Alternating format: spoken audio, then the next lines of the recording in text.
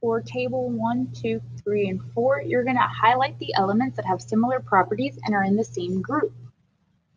So you'll highlight, so you can do the paint can and color it in, or you can use the actual highlight color